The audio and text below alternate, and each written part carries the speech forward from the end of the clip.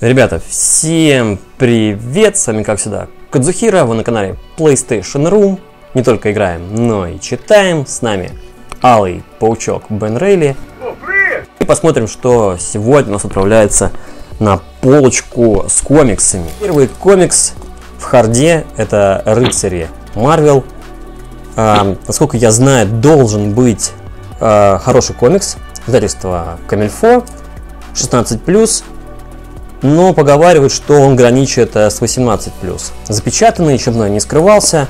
Обязательно будет подробный обзор э, в рубрике «Полистаем». Темная история детективная, где паучок теряет свою тетю Мэй, а точнее ее похищают, и он начинает свое расследование. Далее, ребят, у нас э, серия «Нуар», а именно Человек-паук. Чекни обзор, блядь. Я не перестаю уставать, что я такое очень люблю.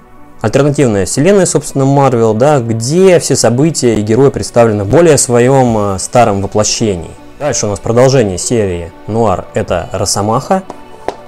Ничего не могу сказать, данный комикс еще не был мною прочитан, но очень мне нравится стилистика Старой Америки, поэтому обязательно я прочитаю и расскажу вам в рубрике «Полистаем».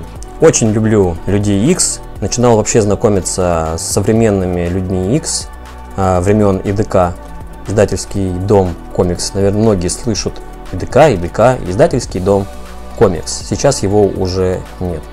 Собственно, воплощение Людей X во вселенной Нуар. Далее продолжаем линейку Нуар. Это Люк Кейдж и Каратель Нуар. Про Люк Кейджа я вообще практически ничего не знаю. Ну так, буквально в двух словах, что это сильный чернокожий мужчина, у которого там непробиваемая кожа, и он очень физически силен. Ну а каратель у нас это такой линчеватель с черепом на груди. Здесь он вообще, мы видим, а, что он в маске черепа. И я считаю, что вот именно для этих двух героев, ну, про карателя уж точно, прям нуар это линейка прям, где он должен смотреться очень хорошо. Большие надежды у меня, особенно вот на этот комикс. И заключительный комикс из тех, что отправляется на полку, это «Сорвиголова Нуар». Я вот не могу сказать, все ли это э, комиксы из э, линейки Нуар.